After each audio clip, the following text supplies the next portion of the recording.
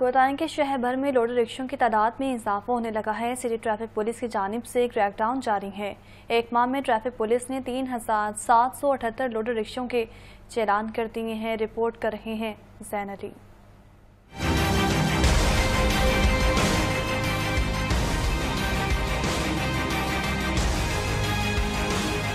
शहर में माल बर्दारी के लिए गैर महफूज ट्रांसपोर्ट का इस्तेमाल लाहौर की सड़कों पर लोडर रक्षों की भरमार हो गई। लोडर रक्षों के बायस शहर में ट्रैफ़िक के मसाइल भी बढ़ने लगे ट्रैफ़िक पुलिस ने लोडर रक्षों के खिलाफ क्रैकडाउन मजीद तेज कर दिया। केनाल रोड, मॉल रोड और मेन बिलवाड गुलबर्ग में लोडर रक्षों का दाखिला बंद कर दिया गया। DSP traffic circle Mughalpura Nabila Rauf कहती हैं कि लोडर रिक्शों को चालान के साथ साथ हदायत भी दे रहे हैं। ये इन लोगों के पास रोज़गार और कोई नहीं है। और ये लोग कहते हैं कि जी हमने ये जो है ना ओवरलोडिंग जब ज़रूरत से ज़्यादा करते हैं फिर हम लोग रोकते हैं इनको चलान करते हैं इनको मोटिवेट भी करते हैं इनको समझाते भी हैं कि ओवरलोडिंग मत करें ओवरलोडिंग चाहे गुड्स की हो चाहे आप